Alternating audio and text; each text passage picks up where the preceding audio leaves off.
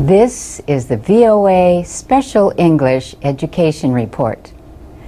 The number of international students in the United States is at record levels. Last year, more than 670,000 foreign students attended an American college or university. And for the eighth year, the school with the largest number was the University of Southern California in Los Angeles.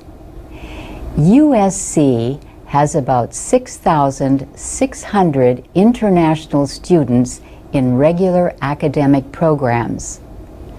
One in four graduate students and one in 10 undergraduates come from other countries. In a special class, international students meet with American students and learn about American life, says instructor Vincent Vihil.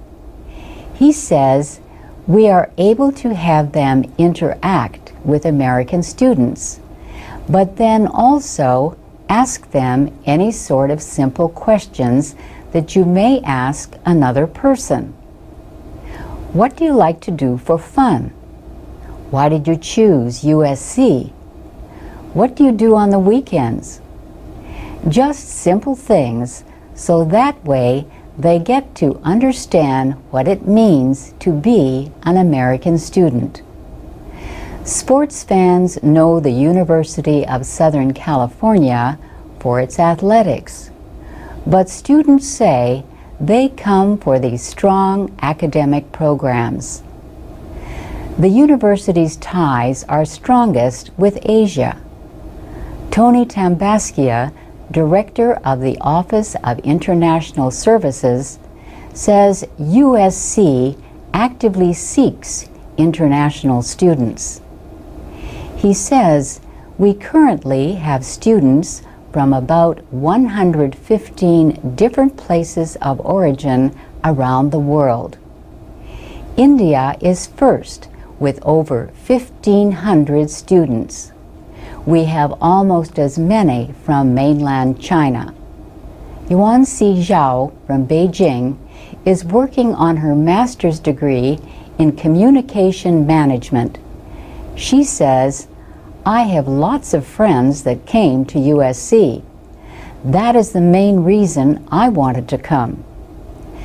Some students come to study business or liberal arts or to attend the university's highly rated engineering school.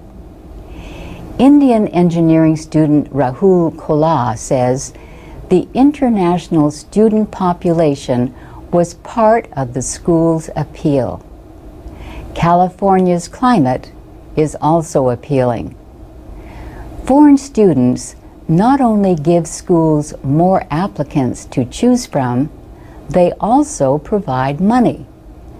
Undergraduate students from other countries usually pay full tuition at American colleges and universities. Only a small percentage receive financial aid. And that's the VOA Special English Education Report. Check out our Foreign Student Series for those interested in studying in the United States click on the link at voaspecialenglish.com.